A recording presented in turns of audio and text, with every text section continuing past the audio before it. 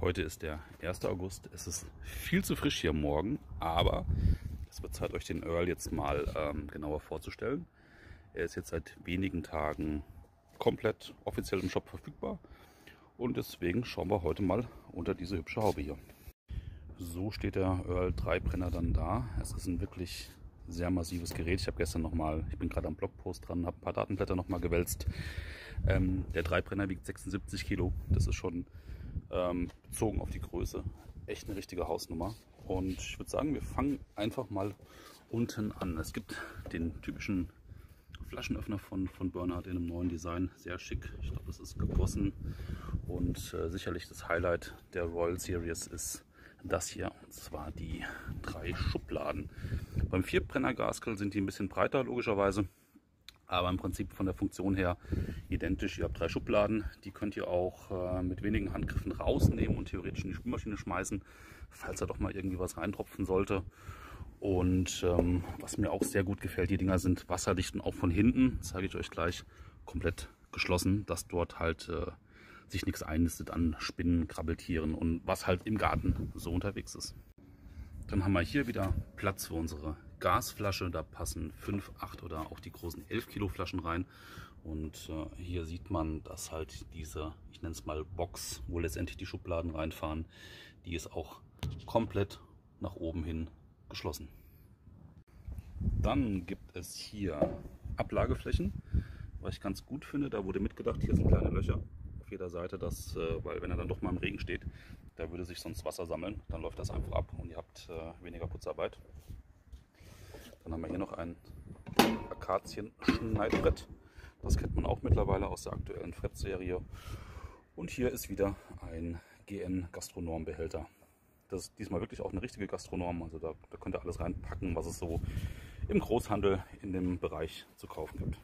Bevor wir uns jetzt der linken Seite widmen, hier noch ähm, das neue Thermometer. Ist deutlich größer als in der Fred-Serie. Sieht richtig schick aus.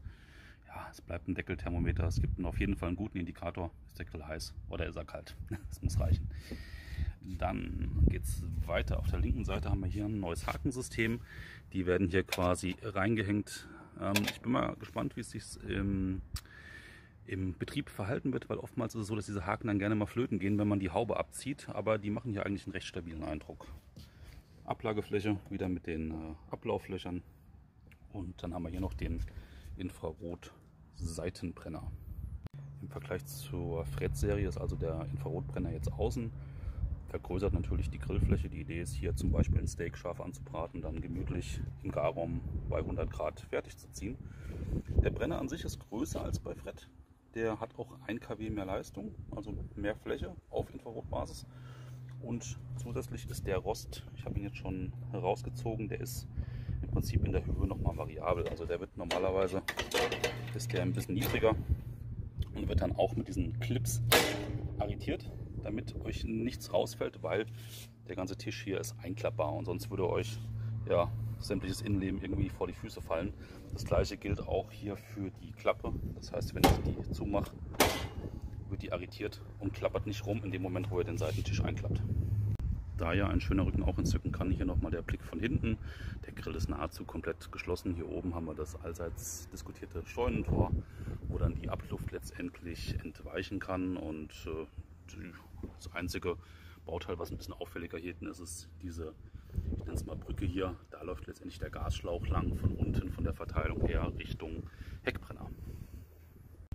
Jetzt wird es aber langsam definitiv mal Zeit hier reinzuschauen. So sieht nämlich die Garkammer von innen aus. Wie ihr seht, wir haben hier Gussroste, der ist dreiteilig. Die haben mittlerweile auch hier ein Bernhard-Logo eingelassen im Rost.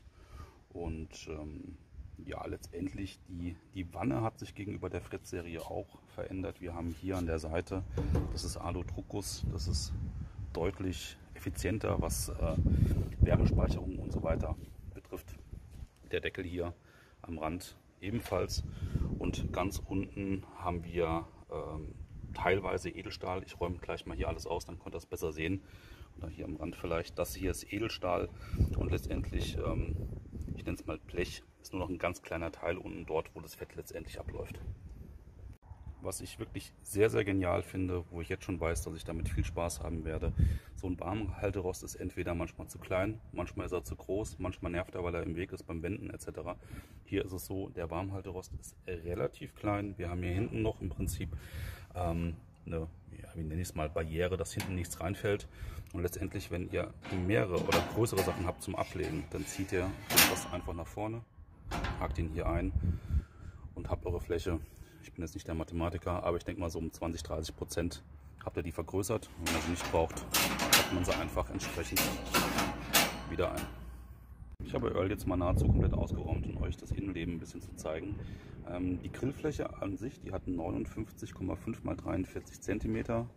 Die ist ein Ticken tiefer als bei der Fred-Serie, so circa 2 cm. Bedeutet allerdings auch, dass euer, falls ihr Zubehör haben solltet, was ihr aus der Fred-Serie kauft oder nutzen wollt, wie auch immer, das passt hier nicht rein. Also der ist definitiv tiefer und äh, sowas wie Wendeplatte etc. passt dann nur, wenn ihr sie für den Earl direkt kauft. Ja, was gibt es noch zu erzählen? Was ich sehr cool finde, eigentlich eine totale Kleinigkeit. Ähm, hier ist jetzt so eine, ich nenne es mal Flammenbrücke. Das bedeutet, wenn ihr einen Brenner gestartet habt mit der entsprechenden Zündung, müsst ihr, wenn ihr weitere Brenner dazuschalten wollt, einfach nur Gas aufdrehen, weil im Prinzip die Flammen hier, ich nenne es mal zirkulieren. Und ihr müsst also nicht nochmal aktiv irgendeinen Zündmechanismus äh, betätigen. Finde ich persönlich ganz cool. Man kann auch dann unter geschlossenem Deckel im Prinzip mal nachzünden und weiß auf jeden Fall, dass der Brenner auch sofort an ist. Kurz zu den Brennern an sich. Sind Edelstahl-Stabbrenner, die haben 3,75 kW. Das heißt, mal 3 sind wir bei 11,25 kW hier auf der Hauptgrillfläche. Dazu kommen die 4,5 kW hier im Infrarotseitenbrenner und nochmal weitere 3,5 kW hier am Backburner. Zum Backburner ist noch zu sagen, der ist ebenfalls aus Edelstahl, geht nahezu hier im Dreibrenner über die komplette Fläche. Und ähm, es wurde auch schon öfter diskutiert, warum macht man da keinen Keramik-Backburner?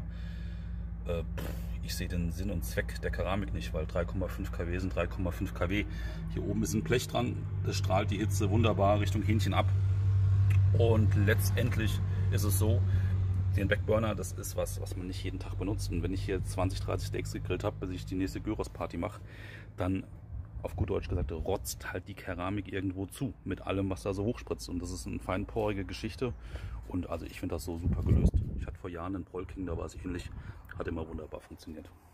Und um das Innenleben abzuschließen, ihr seht, ich hatte es eben angesprochen, das hier sind Edelstahlelemente und letztendlich die Fettwanne ist deutlich kleiner geworden als beim Fred. Das ist letztendlich nur noch dieser Streifen hier mit einer entsprechenden Auffangschale noch mal drunter.